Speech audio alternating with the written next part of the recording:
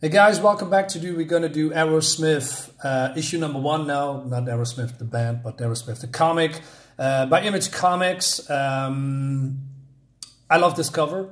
Um, I just this is a, a variant cover, and I liked it very much uh, of all of the other variant covers or normal covers because it tells a story. Uh, this is basically set in World War One and with magic, and uh, we see this this guy here and, and this yeah, what what what what what is it? I don't know, uh, but it, it seems that he is writing maybe you know a journal or a love letter to his to his to his wife. Uh, I don't know, but it's um, this is a really nice cover. I also love uh, the fact that it's um, it says an Image Comics publication instead of you know this Image logo that's just in here. Also the 399 um, cents a, a copy. Uh, small little details. I, I like that very much. Um, yeah, so this is a this is a very nice cover.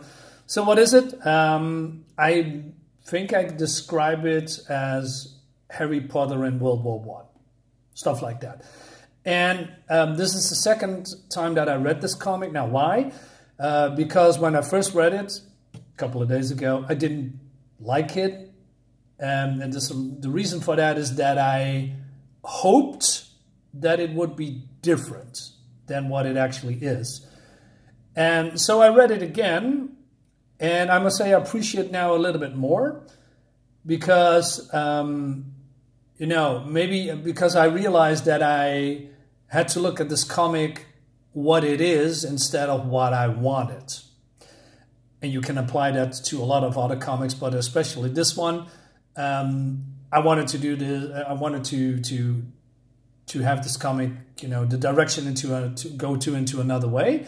But now that I read it, I said, okay, yeah, I, I see where you were going with it. Um, so that's fine. It doesn't mean it's a really good comic. Uh, well, that's too early to tell because this is a issue number one, and most issue number ones is just you know setting up the story and basic storytelling. Um, but uh, also, this is volume two. Uh, I don't have volume one. Uh, so I miss a lot of information who these characters actually are, and I cannot tell you about it. Uh, I don't think this is also a continuation. I believe this is a standalone story, so probably a little bit more accessible than, you know, you have to read volume one and now the story continues. That's not the case. Um, but, you know, if you want to know the characters, that's probably better if you read volume one, I guess. Uh, so without further ado, because I'm not talking uh, for now um, about that, let's dive in. So we see, uh, well, the main protagonist is this guy called Fletch, which is the most laughable name in uh, all of comics, I guess. And Fletch is a, um, yeah, how much you say, a, a young airman. That's what, what they call it. So this is in, uh, set in World War One, but in a fantasy setting. It's got 1916. And so he just wakes up and he says, okay, we, we are just doing our, our recons. We fight bad guys.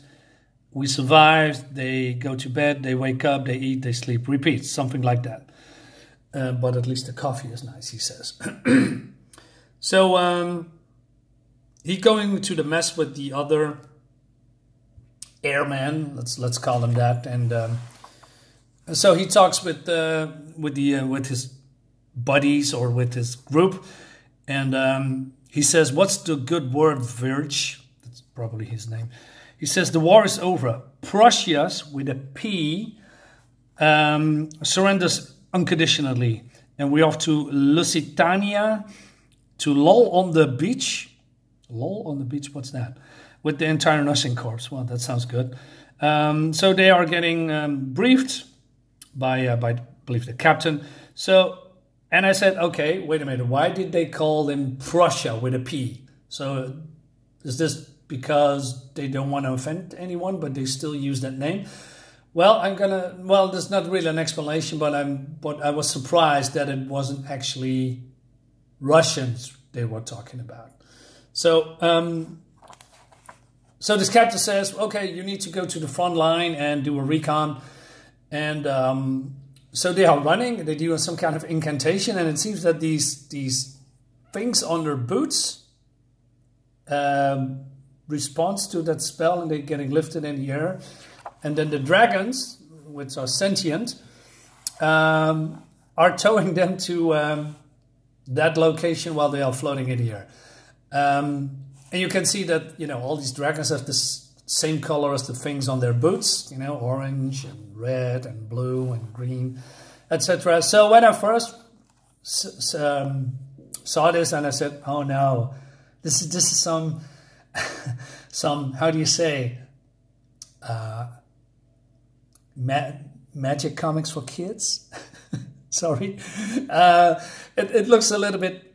I don't know, you know. Just that's why I say Harry Potter. I mean um, when I first saw Harry Potter, I, I, was still an old guy or older guy, and I enjoyed it, but I, it was clearly aimed to a younger audience. Um, but the fan base of Harry Potter is massive, still is, and um, so I, I said, oh, okay, you know, soldiers, Harry Potter stuff, I don't know, or, you know, and then. But I can appreciate more where this is going uh, and I'm going to tell you a little bit what, what what's in this comic. So um, they go to the front lines, and um, and they are flying above enemy lines, and these are the enemies here.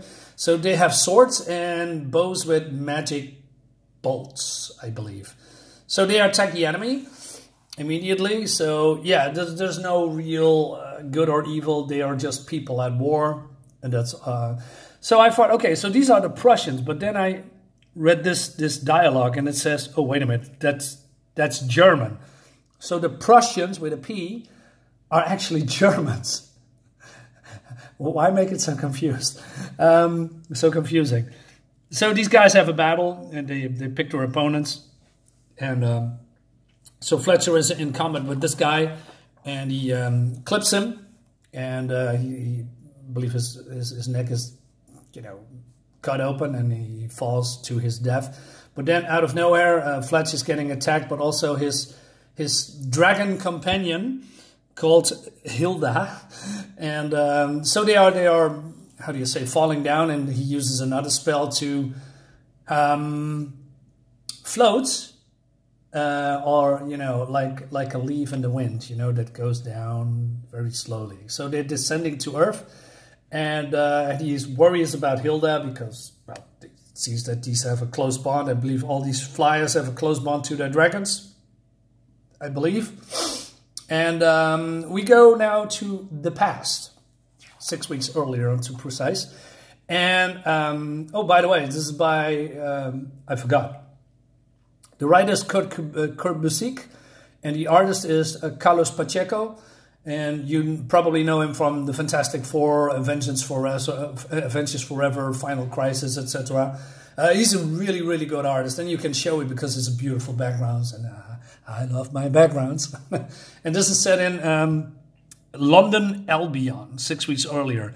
So it seems that the uh, soldiers cannot or uh, shouldn't fight day after day after day after day. It's that's not really healthy and it's very demoralizing. So uh, it seems that they are rotating um, once in a while, and that means they have normal jobs in in in a in their in their own area in the safe area, and um, Fletcher or Fletch uh, is is is a post guy. You know, he's a mailman, so he's delivering post, etc. And then he is getting greeted by uh, his, his his buddy, who is also walking there and doing jobs called drum roll please.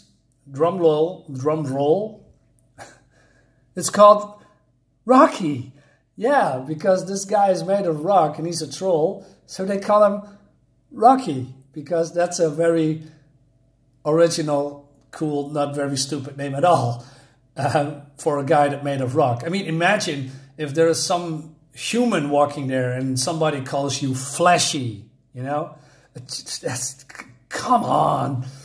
Anyway, um, I believe uh, also Fletch is a little bit of a doofus. He's a, he's a good guy, but uh, he comes over as a, as a, you know, he's young. Let's let's leave it at that.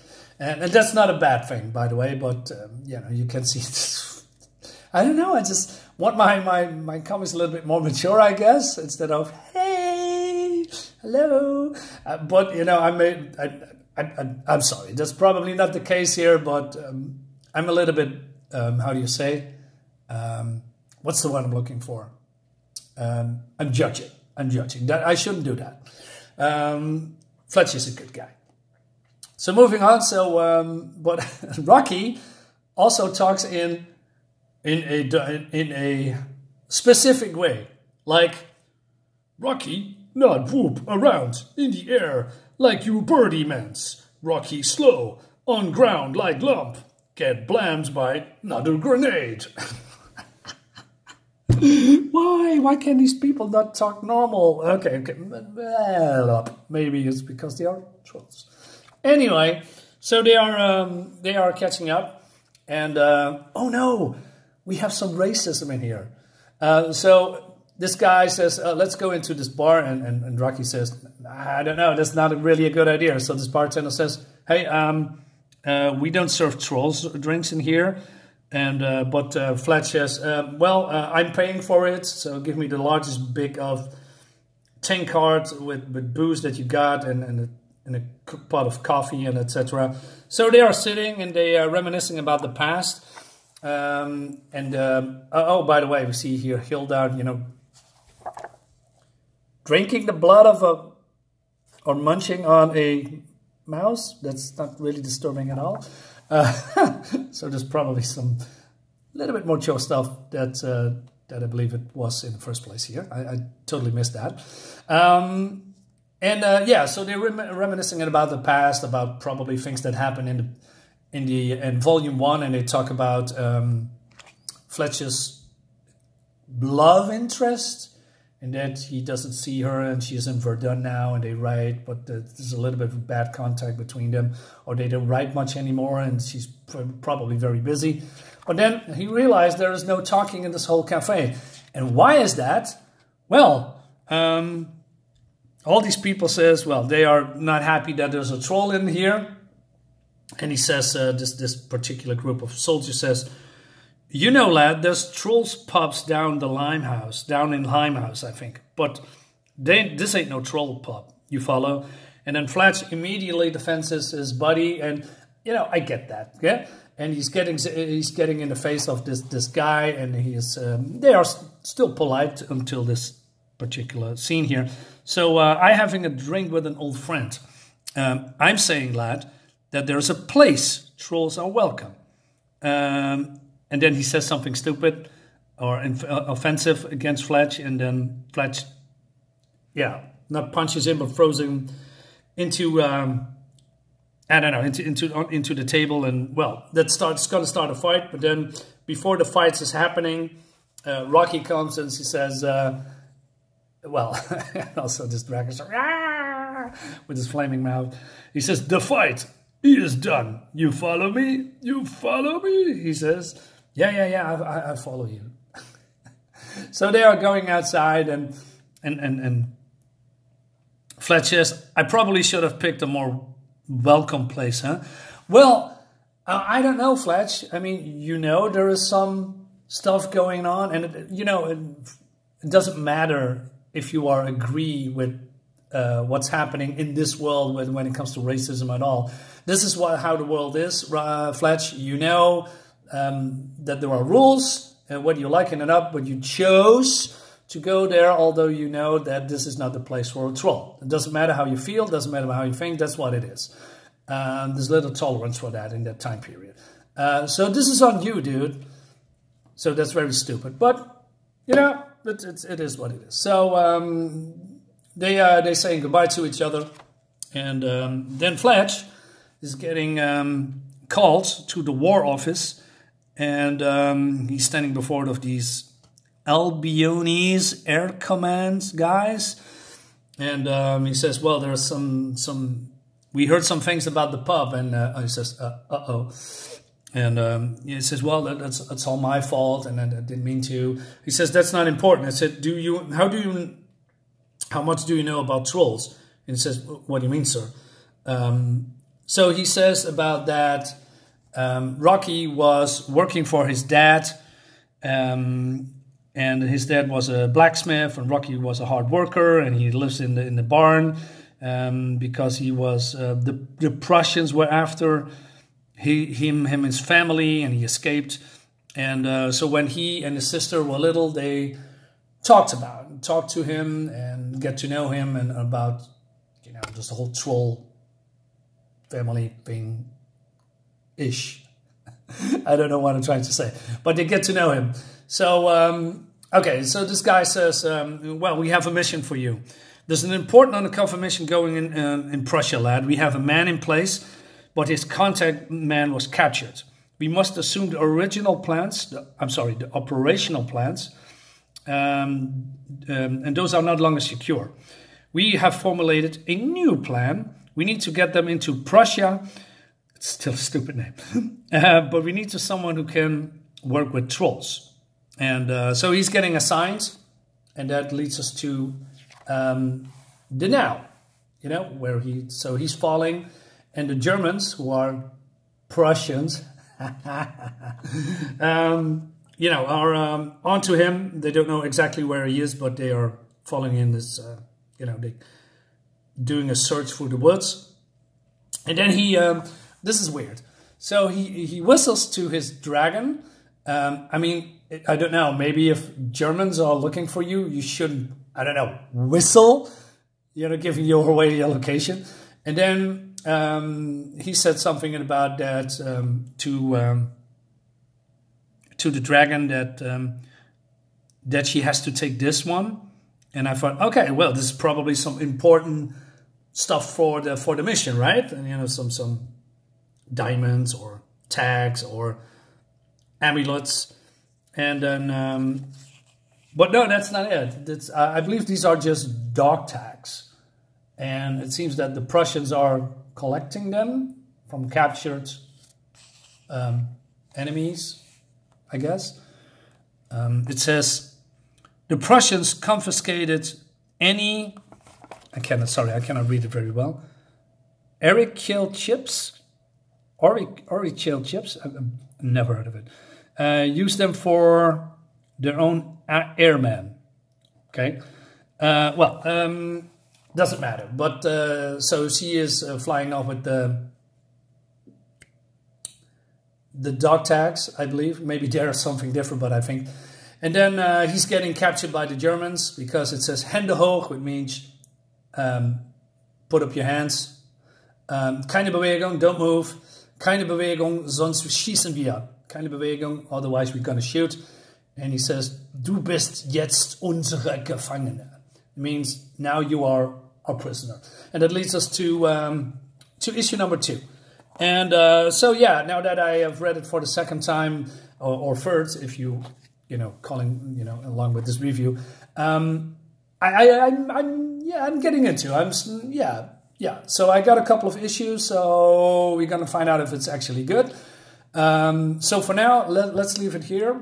Uh, guys, let me know what you think about this whole Arrowsmith thing. Do you hear about it? Do you read it? Do you want it or not? Uh, leave a comment. And I'll see you next time. Bye-bye.